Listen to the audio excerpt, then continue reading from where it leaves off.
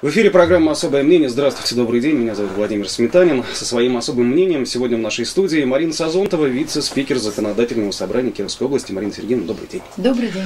Традиционно напоминаю слушателям о том, что на сайте хакирова.ру есть и видео, и аудиотрансляция нашего эфира. Кроме того, заранее мы, э, наш редактор сайта, выкладывает анонс программы «Особое мнение». Там есть форма для того, чтобы вы смогли задать вопрос гостю этой передачи. Ну что, собственно, к темам, вопросам мы переходим.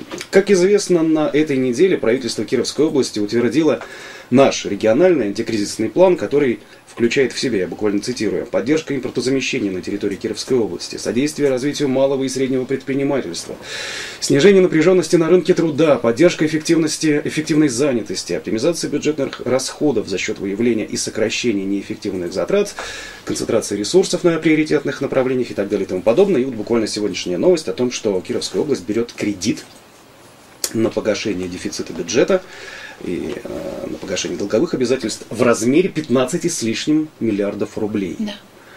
Ну, несложно почитать, что это практически треть бюджета нашей области. Вот как, как вы оцениваете эти антикризисные меры, утвержденные членами правительства, и, собственно, вот этот Ну, кредит? давайте начнем. В общем-то, у нас ведь антикризисный план принимается после того, как объявлен э, антикризисный план на уровне России, да, Мгм. страны.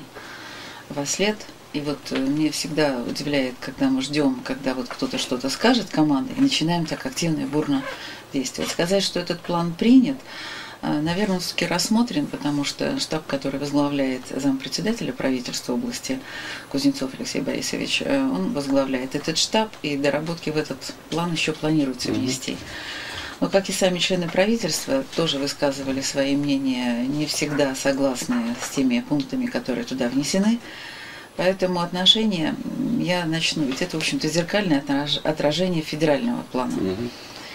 И сегодня, мне кажется, даже санкции, которые против России введены да, со стороны этих западных там, всех стран, они, наверное, в общем-то, легко могут прикрыть те упущения, которые за годами, десятилетиями не решались ни проблемы, не принимались какие-то не антикризисные, а обычные решения. Поэтому вот у нас Центральный комитет партии, да, КПРФ, они уже давно предложили программу развития страны не какую там антикризисную, которые должны развиваться, несмотря там кто-то объявит санкции или не объявит. И там буквально говорит, если мы сегодня монополизируем ликероводочную промышленность, это сразу в бюджет страны дает 1 триллион рублей. Причем, учитывая, что у нас за последние годы 80 тысяч предприятий закрыто, это не индивидуальные предприятия, там частные какие-то фирмочки, предприятий 80 Крупное тысяч. Да. Мгм. А какой кризис, так сказать? Мы шли к этому кризису благодаря вот такой необдуманной нашей экономической политике. И то, что сегодня объявляется у нас в области импортозамещения и так далее, ну, ребята, мы не сегодня жили, живем. Кто мешал развивать производство? И мне сегодня обидно за свой завод 1 мая, который у меня династия там уже работали, два деда, не знаю, да, что родственниками станут. Уникальнейшее предприятие, у которого они могут делать все, потому что там есть и литейка, и кузница, инструментальные, сборочные, сварочные, там, металлоконструкции и так далее.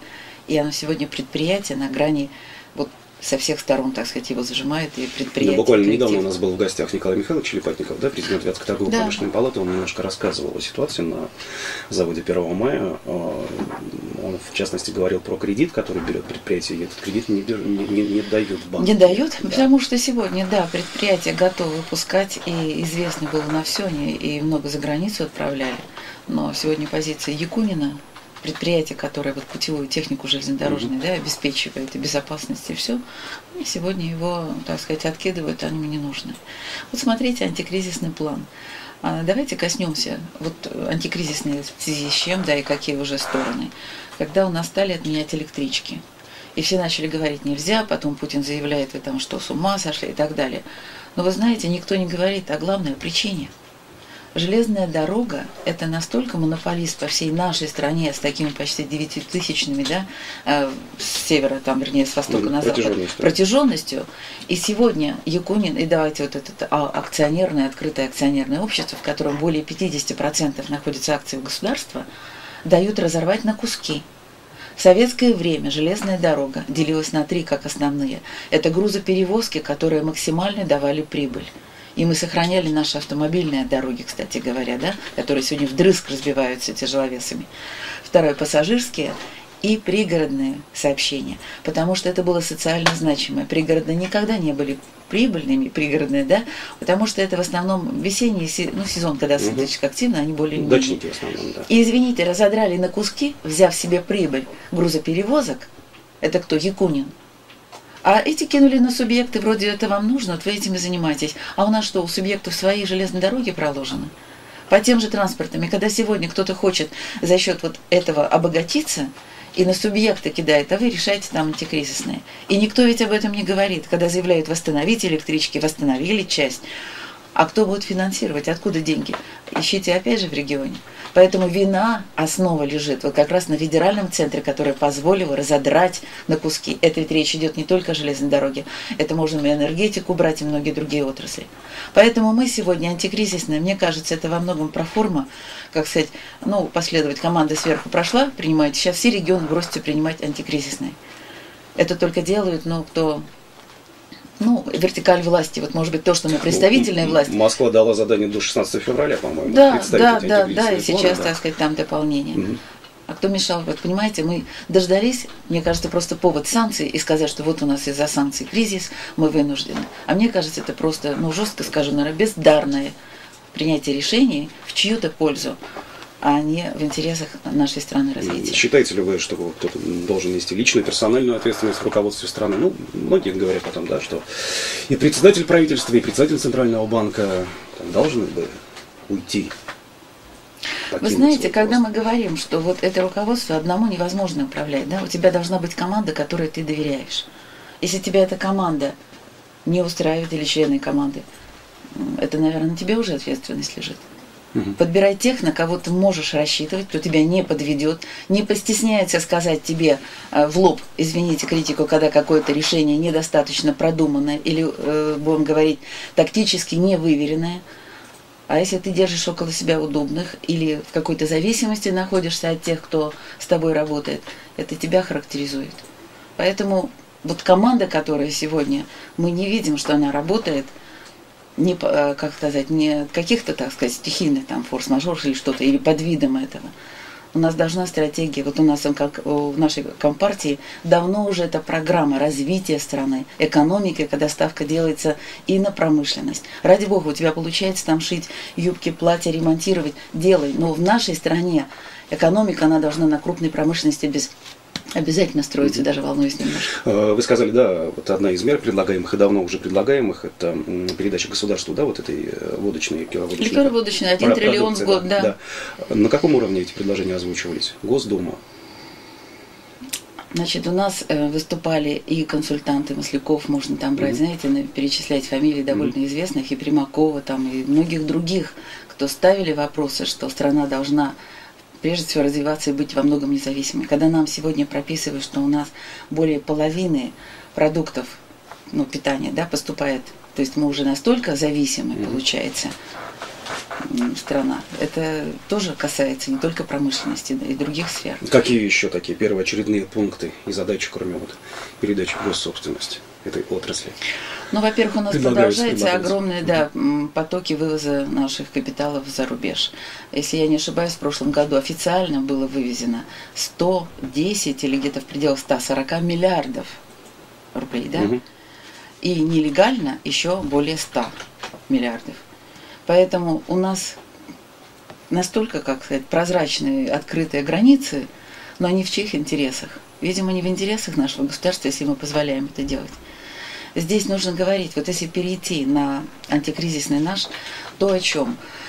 На чем наш бюджет может экономить. И вот когда у нас был митинг 20, э, сейчас скажу, 23 26 января у филармонии. Наш федеральный или региональный? Нет, это региональный, региональный да, проводили 26 января Нет, я имею в виду бюджет какой? Я уже на областной, давайте угу, перейдем, угу, потому что, наверное, в большей степени нас интересует. Так? Речь шла о том, где мы ведь всегда не говорим, что вот надо экономить, мы говорим, где экономить. И вопрос, который ставили даже не в наш созыв, а еще и в предыдущие двоевластия, когда у нас в районе совсем небольшом, это надо смотреть, там Киров, может быть, особая там ситуация, но в большинстве районов, когда есть глава района, глава администрации, у каждого свой аппарат, там штат и так далее, Мы как раз выступали против этого двоевластия. Приведу пример. Вот Седлица наш, который город побратим Кирова, Мгм. там председатель Думы, перевожу на русский как бы, да, язык, он у них приходит, по-моему, два или три раза в, в неделю для того, чтобы обозначить и так далее. А есть э, глава э, города там, который работает на постоянной основе. Это огромные деньги, то, что мы сегодня тратим на двоевластие. Насколько я помню, э, ваш коллега, да, покойный Да, депутат Лихан- Михаил да, Лихачев, он он же. приводил цифру в 30-40 миллионов, по-моему, Да. рублей, да, в случае Во всяком ликви- случае, ликвидации двоевластия. конечно, можно конечно. экономить. То есть мы говорим о экономии и как-то одностороннем порядке. Во-первых, это, значит, второе, когда шум у нас, помните, сейчас начало да, года, да, с 1 марта у нас будет и повышен проезд, стоимость проезда, Мгм. и лишение льгот людей, которые прожиточный минимум, полутора, Ну, чуть прожиточный. позже, да. да. Да. Поэтому, нет, я говорю о финансовой составляющей. Вот посмотрите, когда в бюджете нужно экономить, я считаю, у нас сегодня получилось одностороннее движение. Призыв гражданам, давайте мы будем экономить. Это вот Иван Васильевич да, меняет профессию, когда там со стены все прыгали, все размещались. Давайте, да, можно сказать, давайте экономить. Все решили, давайте и спрыгнули. А кто-то остался наверху и спокойно живет. Вот если сегодня власть заявляет, что нужно сэкономить, она должна сама показать пример, как сэкономить. Вот на митинге выступая, я говорила, если у Шанцева надо вот сейчас проверить, э, мне такое есть, да, но если у него было 9 заместителей до предыдущего срока вот его работы, когда его избрали, он оставил до 4 своих заместителей. У нас было 9, стало 11. Главу Нижегородской области вы имеете в виду? Да. да. Вот, вот экономия. Мгм. И когда люди видят наши, да, что призывы есть призывы, а экономия идет только за счет самих граждан, м, понятно, что это большое недовольство Ну, вызывает. как вы думаете, в, в условиях вот такой обострившейся непростой ситуации, может быть, наша региональная власть как-то более прислушается к вашим предложениям и действительно сочтет их рациональными и какими-то способами воплотит все-таки в жизнь? Есть такой шанс? Я так скажу, умная власть, она всегда услышит и не будет дожидаться, когда народ уже выйдет на улицу для того, чтобы их услышали. Да, у нас иногда немного людей, но если это в рабочее время проводится, понятно, что не все сегодня готовы сделать. Но тут уже и в рабочий день, понедельник, достаточно много людей было. Следующий митинг мы проводим 23-го в филармонии в 12 часов, чтобы услышать ответ власти, как они все-таки собираются вот эти решения, только ли за счет граждан решения вот, дефицит бюджета. Ну, кстати, сегодня в ходе дневного разворота у нас был опрос, э, спрашивали наших слушателей, пользователей наших интернет-сервисов о том, все-таки вот эти, эти массовые э, народные выступления, если они будут проходить, будет ли прислушиваться к ним власть? Э, Там у нас лидировал вариант ответа, власть будет стараться всеми силами не допускать этих массовых выступлений. Вы как считаете? А Ведь вы знаете, вот, что значит не допускать? Как раз умные не допустятся, потому что если он будет принимать правильное, продуманное Мгм. решение, зачем будет что-то выходить и делать? Поэтому, если не допускать имеется какими-то э, санкциями, какими-то ограничениями и так далее, это еще больше, это еще более неумный ход со стороны власти. Ну и все-таки, на ваш взгляд, вот, э, вот нынешнее руководство нашей области, сформировавшееся не так давно, да, у нас недавно были выборы, оно в силах удержать ситуацию под контролем, там даже оперативный штаб создан, да, по устойчивому социальному развитию, как-то вот с такой формулировкой он называется, на ваш взгляд. У меня нет уверенности. Пока уверенности нет. Потому что предпринимаемые, вот мы, видите, с вами в Новый год вступили и получаем такой результат. Почему полуторно там ссылаются на какие-то федеральные законы и так далее.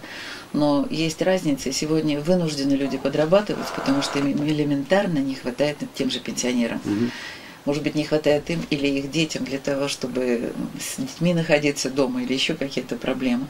Но не работающие пенсионеры, сегодня у которых там на 21 рубль не хватило до этого полуторного прожиточного минимума. Кстати, хочу сказать, вот когда я до конца разбиралась, может быть, кому-то пригодится. 4 февраля у нас принято постановление правительства, э, правительства об утверждении прожиточного минимума за четвертый квартал. А расчет в 11 214 рублей, Мгм. полуторный, да, прожиточный минимум, он был э, рассчитан по третьему кварталу. Значит, постановление начинает вступать в силу через 10 дней. И если у нас после 14 числа полуторный прожиточный минимум будет равен 11 461 рублю Мгм. и по 50 копейкам. Так что, вот, может быть, те, кто вот обращались, звонили, люди, у которых не хватало, если они до 1 марта обратятся, и расчет будет взят по доходам по тем же месяцам, там, октябрь, ноябрь, декабрь, то они могут еще успеть получить льготу. Но вы как-то будете стараться будировать эту тему, как-то вот э, указывать? Уже департамент У меня социального сегодня развития. встречи очень Мгм. много проходит, Мгм. отчет начала года. Встреч уже, наверное, где-то около 15 прошло. Безусловно, мы доносим эту информацию. Но хотя это расчет, и когда э, люди буквально раскладывают, на что им хватает, как Мгм. платить коммунальное, очень большую сумму занимают а, лекарства, они сегодня очень дорогие, и совсем минимум остается на то, чтобы прожить. А само повышение стоимости проезда с 1 марта до 19 рублей, насколько оно обосновано, на ваш взгляд? Ну, это впервые, да, по-моему, происходит у нас в городе, когда сразу на 3 рубля повышается стоимость. Ну, у нас было 11, стало 15. Были и такие, так сказать, там скачки, если я не ошибаюсь. Мгм. Так что я не думаю, что впервые такой скачок идет. Но нам же все подают, что видите, кризис, вот видите у нас. Поэтому расчет по стоимости, ну давайте как, как можно рассчитывать стоимость бензина, да, при том, что у нас стоимость нефти ну, уже упала до нельзя, да, Мгм. а цены на проезд растут. Вот где логика? Когда даже Цены на бензин растут. Цены на бензин Да, да. растут, да. э, значит, подождите, на бензин растут при падении цен на Да, бензин, да, э, на на, нефть, на нефть, да. да. И в то же время растут цены на проезд. Вот мы как-то, ну, с арифметикой, когда ты дружишь, так раскладываешь, вот не получается. Как так вот, где логика? Каждый находит там, что нужно зарплату повысить, нужно там какие-то социальные маршруты, да, чтобы поддерживать и так далее. Но необъяснимо порой бывает. Ну, Но президент- это опять же мы касаемся Ну и да. федерального, потому что у нас же предприятия, которые нефтепереработкой занимаются. Ну, президент, да, тоже не так давно высказывал недоумение по поводу того, почему-то у нас нефть дешевеет, а бензин в стране дорожает. Но после этого заявления, как известно, там на чуть-чуть цены на бензин снизились, но на чуть-чуть. На какой только период? лишь. И на какой период? Ну вот сейчас многие эксперты нас уверяют в том, что резкий дефицит топлива может возникнуть уже в мае этого года, и вот резкий скачок цен произойдет. В целом, э, ваши ощущения, ваши прогнозы развития ситуации вот этой экономической области? Вы знаете, при таком непрогнозируемом развитии нашей экономики со стороны федерального центра рассчитывать, ведь сегодня многие регионы, возьмите вот те же электрички, они же коснулись не только Кировской области. И когда опять же на регионы накидывают не хватающие там 67 миллионов рублей щиты для того, чтобы рассчитаться, но они никаких мер не принимают для того, чтобы в корень посмотреть, почему РЖД скинула, взяв себе вот все лакомое и большое приносящее прибыль, все то, что возьмите в гоже, что нам не гоже. Вот если бы была у нас, я увидела, что действия действительно кардинально меняются, есть поддержка. И когда у нас послание там президента, он что будет поддерживать крупное сельскохозяйственное предприятие, полтора предложения я нашла, да, в его послании. Значит, нашу Кировскую область можно свести там до 10, не более, сельскохозяйственных предприятий. Куда денется все остальное население? Чем им занять? Вот понимаете, когда смотришь, когда наложение вот этих федеральных программ, так сказать, позывов там и прочих, да, и когда приземляется, сегодня все скидывают на субъекты федерации, у которых дотационная экономика не развивается, и наши предприятия, они завязаны не только на продукцию Кировской области, они сегодня были очень много а, на экспорт отправляли продукции, за счет этого жили и, так сказать, неплохо. А сейчас у нас что-то все, так сказать, скукоживается по-другому, как шагреневая кожа, так сказать, да? И мы говорим, надо развиваться.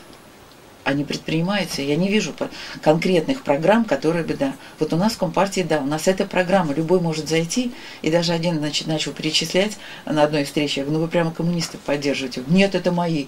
Я говорю, хорошо, что и до вас доходит, что это не выдумка, так сказать, каких-то заоблачных идей, а вполне конкретное решение, которое необходимо немедленно принимать. На уровне законодательного собрания нашего э, будут ли какие-то предложения все-таки озвучиваться? Законопроекты? Ну, ближайшее, ближайшее заседание 19 февраля, да? Да, это состоится? 19 Мгм. февраля, и вот я сегодня специально перед тем, как сюда прийти, посмотрела материалы, которые уже вынесены да, для принятия решений, законы, там, поправки, но ни одного материала, который касался бы антикризисного плана правительства.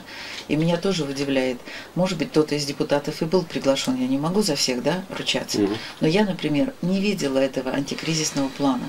Хотя ЗАГС собрание будет у нас 19 а не к 16 когда будет представлен план федеральный центр.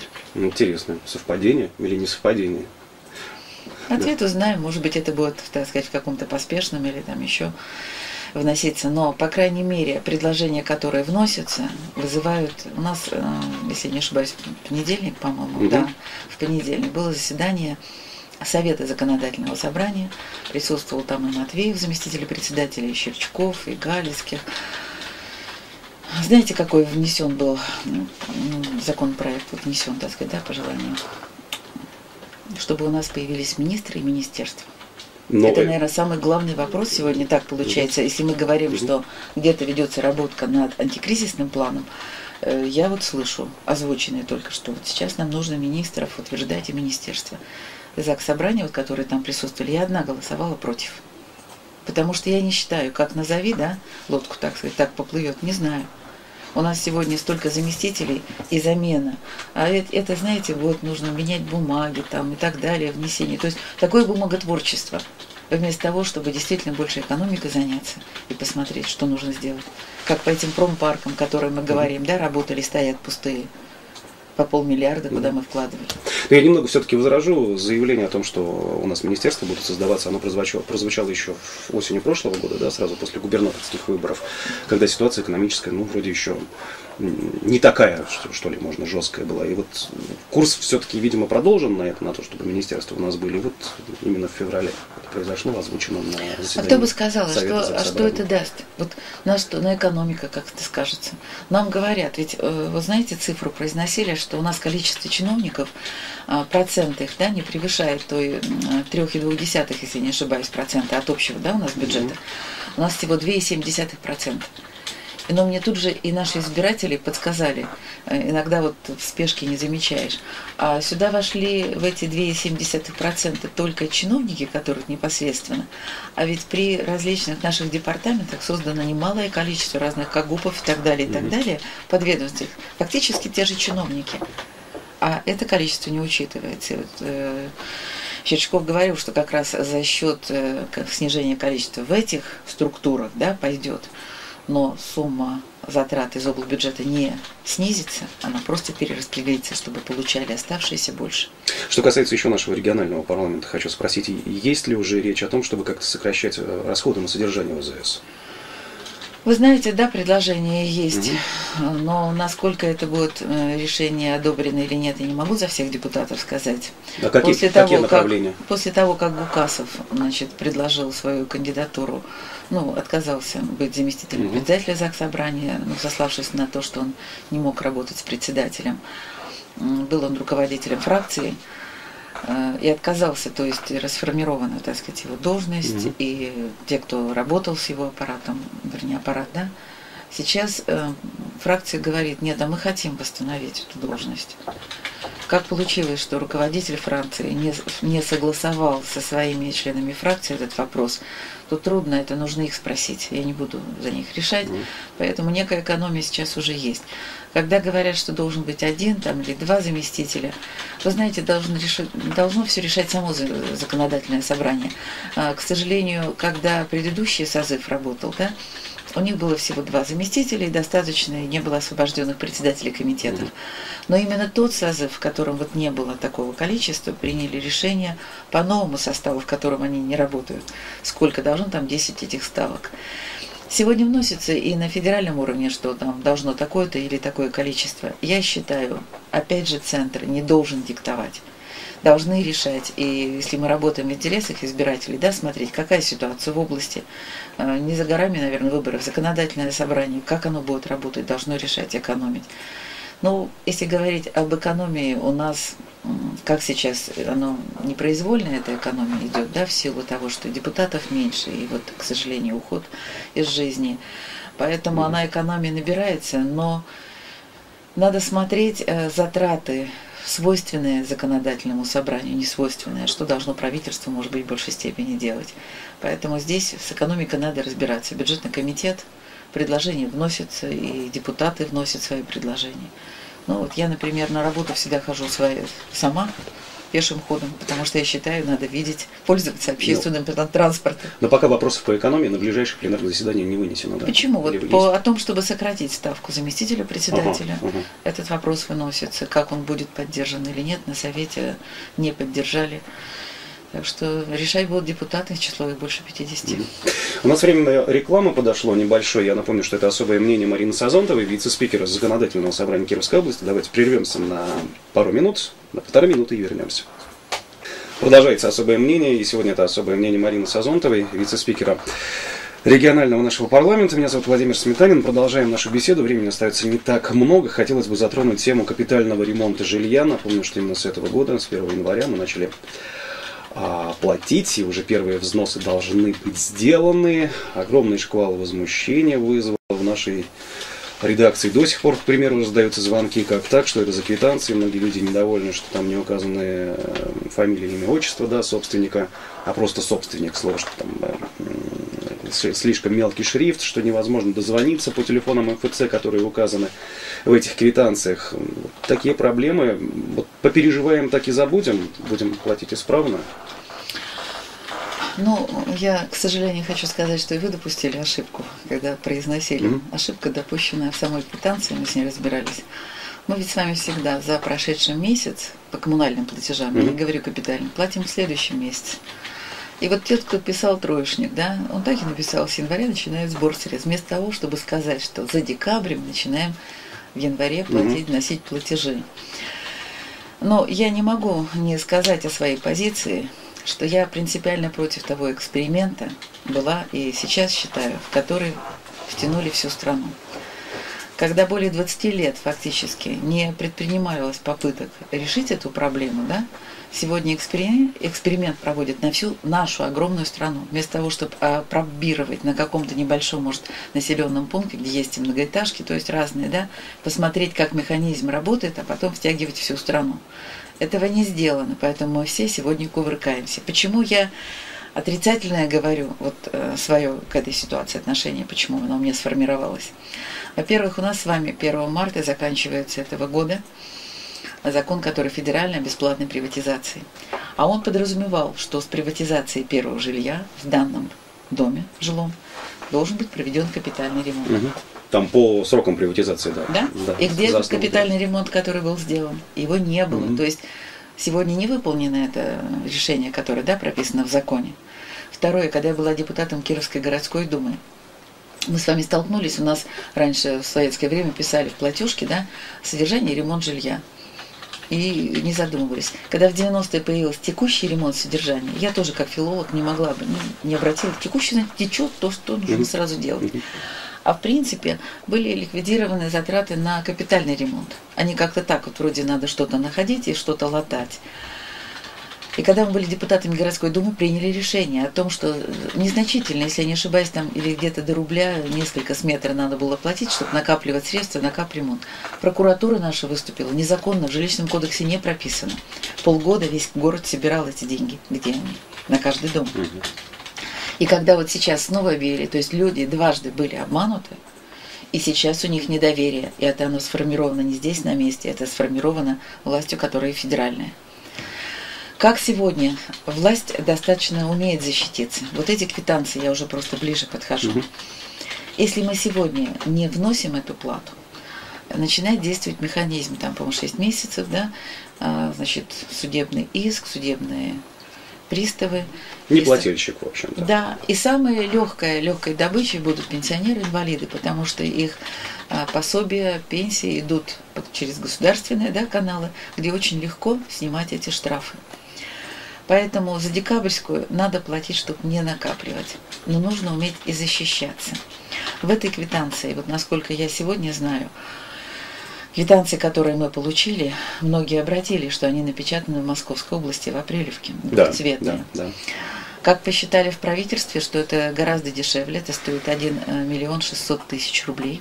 На всю нашу область? На всю нашу область, угу. да, э, на один месяц.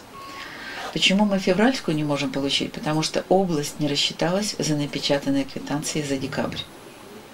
А нам обещали, что до 10 февраля мы должны получить сегодня 12. Проблем там много, и то, что не были учтены, безусловно. Э, понимаете, когда у РИЦ города Кирова вся база уже есть, появляется новый РИЦ, вот если у вас что-то наработано, вы же не готовы с конкурентной, так сказать, какой-то компании отдать все свои наработки. Да. да. Но, видимо, каким-то образом решили этот вопрос, и нам обещали, что в квитанциях за январь, который мы должны в феврале угу. получить на капремонт, будет уже и персонифицированная да, фамилия, и, по крайней мере, льготы, которые и декабрьские, и январские нам э, зачтут. В двойном размере уже получается. Ну, получается, да, за два месяца, за но они месяца. разные, потому угу. что за декабрь ставка там 6,70, в январе уже 7,10. Угу. Да, и хочу сказать, что, увы, депутаты законодательного собрания в большинстве, мы не хотели отдавать это на откуп правительству, пытаясь как-то сдержать рост тарифа. Тем не менее, проголосовали, что пусть утверждает правительство области. Так угу. что тарифы утверждены именно правительством области. Хорошо, продолжим. А, я вот хочу, хотел спросить о чем. В конце декабря прошлого года была информация о том, что сторонники и члены КПРФ начали сбор средств на установку памятника Иосифу Сталину в нашем городе. А, как продолжается, развивается ли эта история? Можете прокомментировать? Да, развивается, потому что сегодня это очень многих, тем более год 70-летия, это главный верховный главнокомандующий, mm-hmm. да, и решение, которое было принято, и победа с его именем связаны тесно. И когда мы говорим о памятниках, которые сносили, был снесен памятник и э, Сталину, к сожалению, я родилась уже после его смерти. Памятник этот стоял в сквере рядом э, с бывшим зданием Кировской правды. Сейчас там коммерческая компания. Можно увидеть этот холм. Там ли разрешат или еще какие-то будут. И я считаю, что если э, есть такое желание, стремление, почему мы должны не восстановить, например, памятник, который был ну, кем-то убран. Это в том же виде, в котором он был? Или... Я не знаю, вряд ли сохранился, может быть, он в том виде, ведь стоял памятник, я, к сожалению, не видела mm-hmm. его, ну, в ту пору еще не было, да? да? Да, может быть, фото, может быть, это будет другой, так что вопрос обсуждается в зависимости, сколько средств, как мы наберем. А вам известно, сколько уже собрано?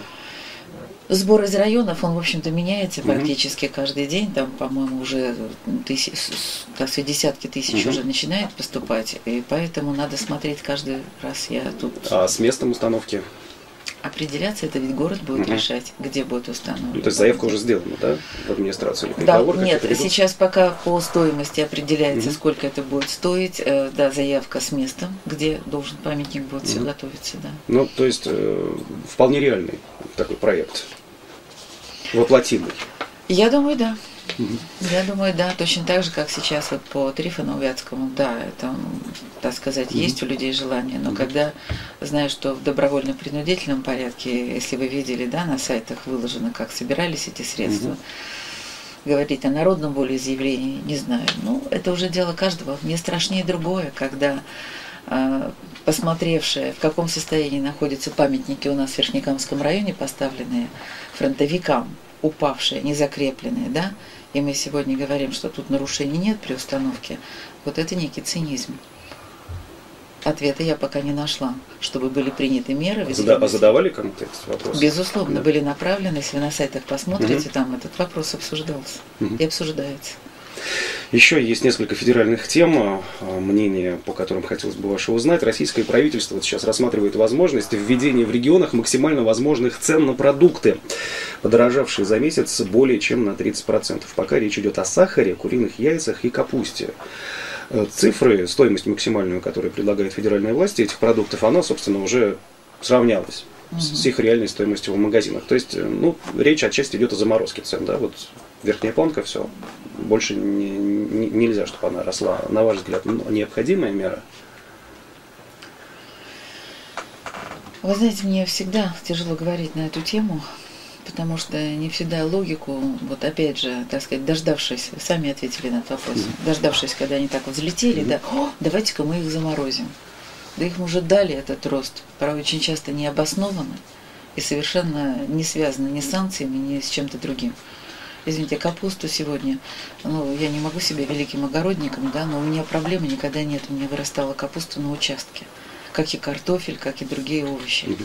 Другое дело, что если сегодня, как и многие кировчане, которые э, запаслись и имеют какие-то резервы, как на будущий год с ростом цен на проезд до своих участков, что и в автобусе или по железной дороге, не придется ли бросать свои участки, потому что Мгм. надо ведь не только ухаживать, но еще и вывозить этот урожай. Мгм. Поэтому я считаю, что дождались, когда цены доросли, и сейчас красиво говорят, да, мы Ну, такой популизм получается, да? Да, я не верю, в общем-то. Мгм. Почему? А почему раньше не было это сделано? Ответа я пока не вижу. Еще одна сейчас э, федеральная тема обсуждается довольно активно. Э, Чуть ранее Общественная палата Российской Федерации обратилась к, к регионам с просьбой рассмотреть возможность такого новшества продажи алкоголя только лишь с 21 года. И вот накануне, по сообщениям СМИ, 10 российских регионов заявили о готовности поднять с 18 до 21 года минимальный возраст для покупки спиртного. Вы поддерживаете данную инициативу? Но я могу сказать, может, что я пожалуйста. очень жестко, конечно, против пьянства. Но надо как-то и реалии нашей жизни, потому что, да, сегодня богатая бабушка, у меня внукам уже нынче будет по 16 лет. И меня тоже волнует, в какой сфере, с кем они общаются и в какой могут оказаться ситуации. Я не популярно, может быть, пример приведу, но у моей хорошей знакомой сын, благополучная семья, все прекрасно, после выпускного бала попал в отрезвитель. Только потому, что, ну, ребята, последний там, значит, давай прощаемся и так далее, вот не рассчитал свои возможности, оказался. Да, мы говорим там о культуре питья, но если уж на то пошло, я должна быть алкоголичкой, потому что шампанское мне дали родители попробовать на 1966 год, когда мне было, ну, 14 год мгм. Это было под наблюдением, это было, так сказать, насколько адекватно и как было сказано себя вести, на что обращать внимание. То есть ты должен знать, что можешь попасть в такую ситуацию, где там, особенно у мальчишек, ну, у парней, Мгм. когда на слабо, там еще на что-то, перед девушкой там или так далее, ну, нужно научить, по крайней мере, да, как себя вести и какие-то меры предпринимать или еще что-то делать. А вторая сторона, вот когда мы красиво так провозглашаем, принимая очередной закон, и тут же видим, у нас вот запрещена продажа ну, даже подросткам спиртного, я уж не говорю. Ну, до Ку- 18 лет, Курево, да. курево Да. запрещена, Да, да? да. И когда я вижу вот напротив алых парусов, в открытую эти подростки идут с этими сигаретами, даже ни дядю, никого не прося.